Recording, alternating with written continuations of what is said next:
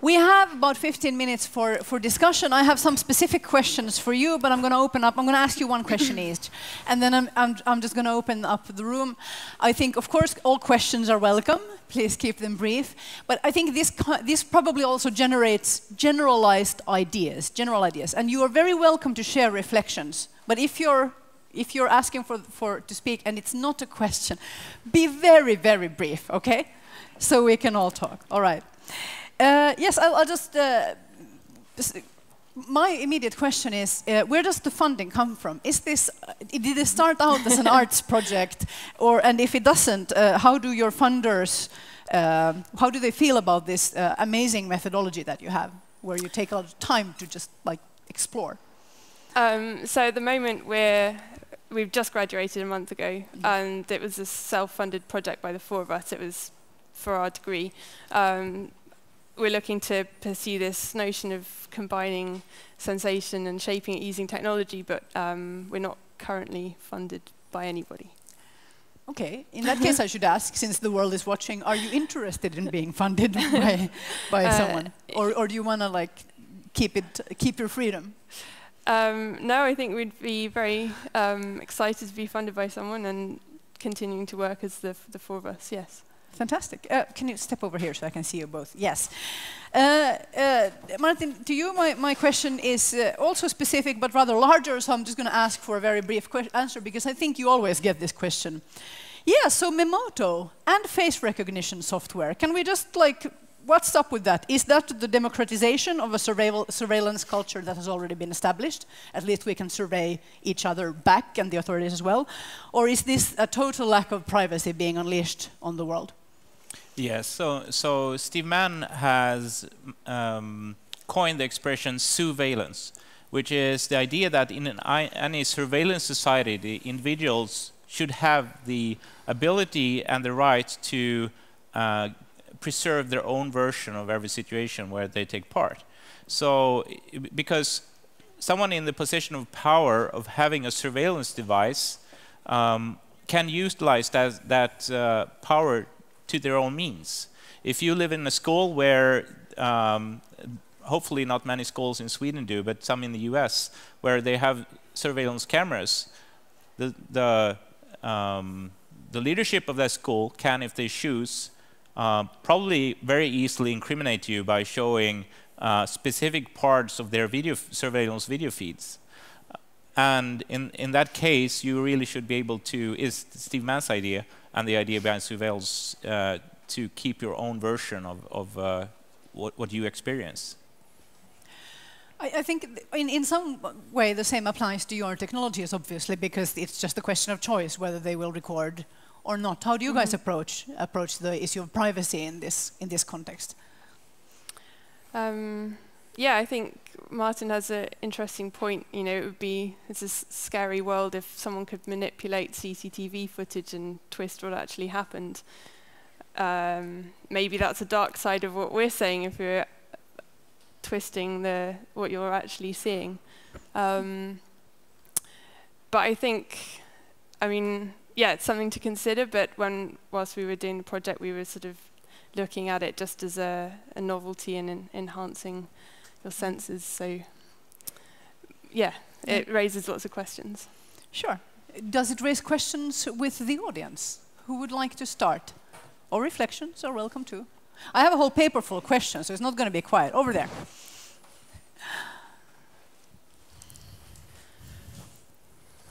Hi, my name is Frederick, and uh, from a company called Resultify. Uh, what about the legality of the camera? I mean, can I wear a camera in any situation I want to? Can I film the police when they stop me? Can I wear it uh, to uh, my son's school? Uh, yeah. Are there any rules on that, or it's from country to country? Or?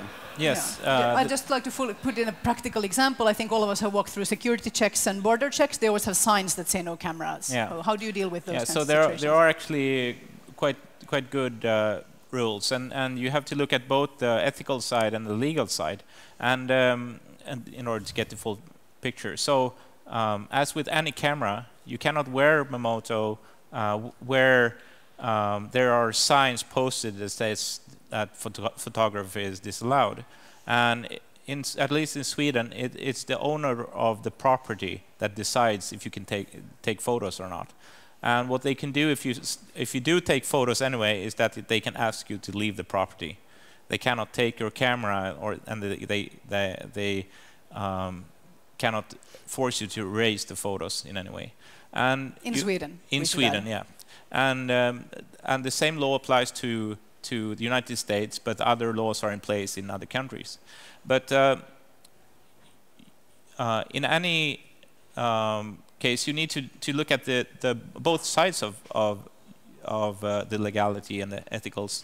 Uh, that uh, if, if uh, someone asks me to, to take off the camera because they don't want their photo taken, of course I will uh, remove the camera. And we actually made it so that you have to remove the camera in order to stop taking photos. Because if there was an on-off button, then other people, when it was switched off, would still feel uncomfortable. So we, we designed the camera to care as much about the surroundings as, as the user itself.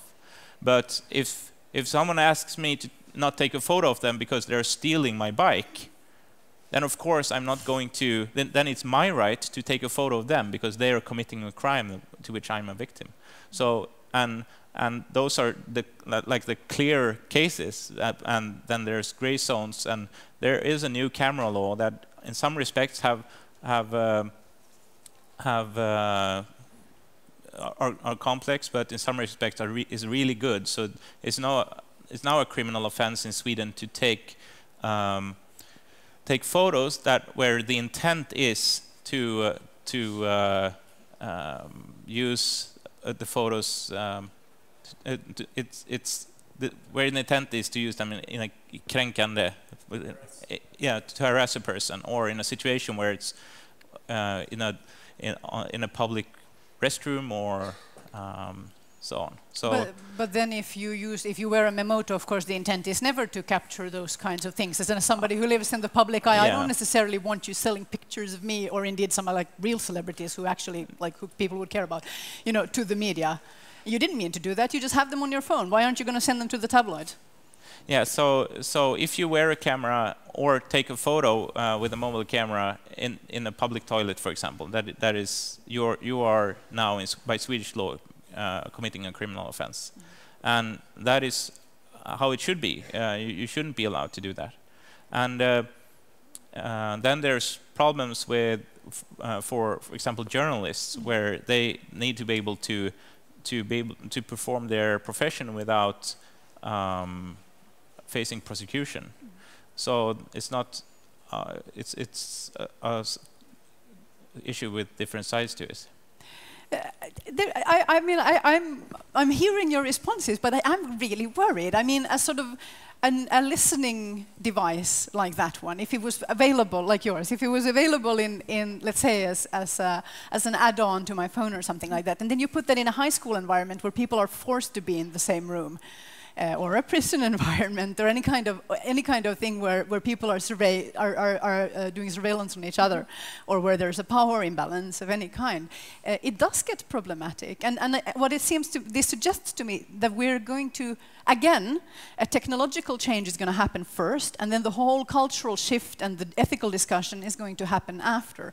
And, and you wouldn't be the first who've, who've, who've caused these kinds of situations. It happens with every machine we invent, I think. But, but it's still, uh, I, I, I still think we are like maybe a decade behind on the debate in the general public. Yes. Hmm? Over, there's a question over in the back, and then with the one over here.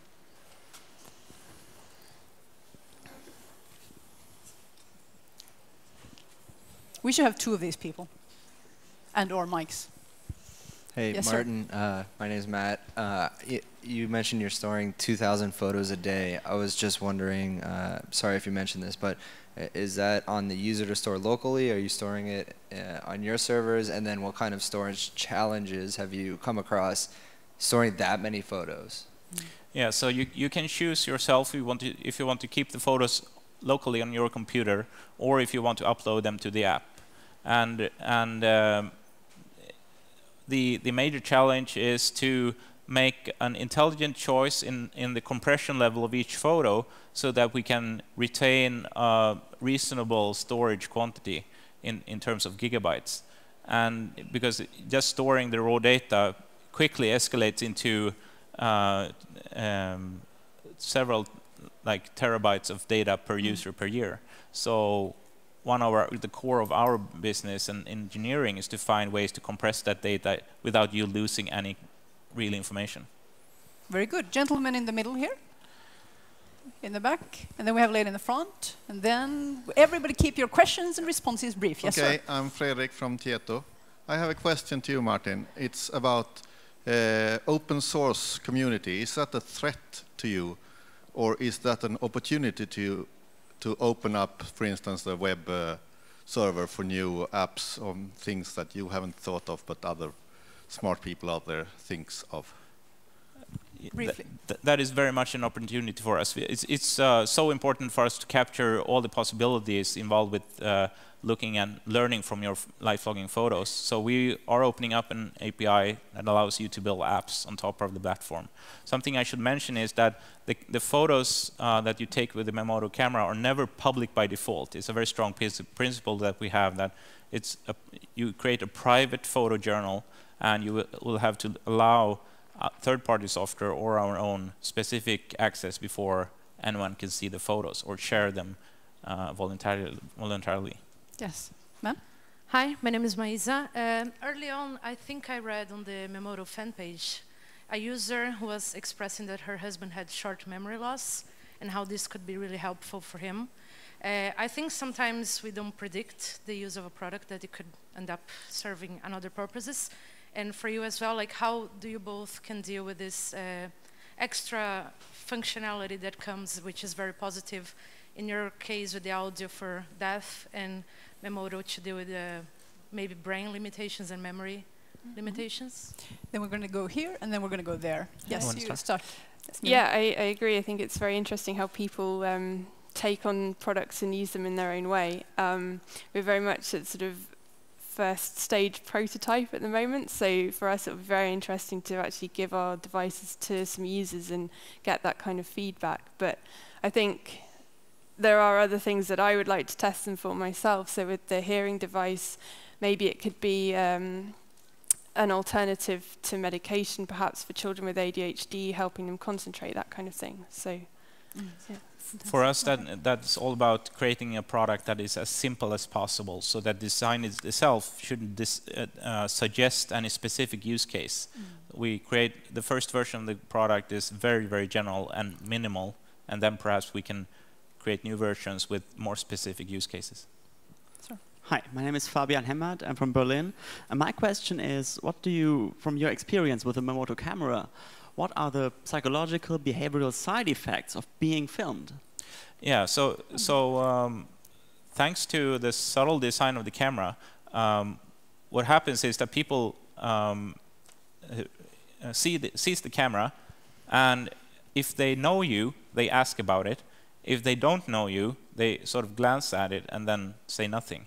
So that's that, that's what happens, uh, for good or or for bad. Um, people, it, it's a it's a great conversation starter. People can't help to ask about it if it's a social setting. Um, but you very, very quickly, yourself and other people, forget that it is there, also for good and for bad. And so you, the bad is that you um, uh, you walk into the bathroom and you- and you and uh, you forget that you have a camera on, and uh, hopefully it's just yourself. Uh, otherwise, uh, you need you need to uh, uh, make sure that you don't share those photos to to the world. I also see that this could be integrated with Cindy Gallop's website pretty, pretty well. Over there. Okay, my name is Kalle Sjöström. I think I would love to have this uh, device for logging for myself, as is mentioned, uh, for keeping it private. What I think about is, is uh, the risk with the NSA and, and the FRA and all that stuff. Uh, how do I, how can I be sure that, that uh, my pictures stay my pictures? Yes. So so um, uh, with Memoto, y- your photos are your photos, and as if a governmental governmental uh, or a court order asks for your photos, we will notify you. Um, but the only way to be really sure uh, is to to um, not identify. You, you can be anonymous with with uh, the Memoto service, but um, I think uh, with with the turn of recent turn of events where uh, it's apparent that uh, at least the U.S. government, but also the Swedish, um, listens into any stream of data they, they would like to, and can also in the U.S. issue gag orders on on the companies where they do so. It, it is very problematic, and it's something that we really need to um, take seriously when when sh- shaping the strategy of our company. Uh, perhaps we should should be moving away from cloud storage to our own servers. So we can we we need to be very careful about where we, we place those servers and so on, and what kind of encryption we enforce. Thank you. We're running out of time. There are at least two more questions in the audience, so I'm going to ask you guys to drag your feet on the way out of the room so people have an opportunity to catch you. Uh, before we thank the speakers, I'm just going to give you some practical information. Uh, some things are starting now at 6 p.m. The Science Slam from uh, which is a sort of yeah, it's like a poetry slam, except scientists are like competing in presenting awesome science presentations, which will be fascinating and entertaining. There are people from Lund Tekniska Högskola. Uh, it, that's going to be in the Snowden room starting at six. Sydsvenskan, the newspaper, is hosting interviews in English, of- of course, on the stage in the mingling area. I would like to remind you: don't forget to eat. Food is on sale at the venue. You don't need to leave for anything. You can probably sleep right here if you want to. Um, and there are some other things starting at seven, but those are the ones that you need to think about right now. Now, thank you for your attention and your intelligent questions. Millie Clive Smith and Martin Källström. Thank you so much.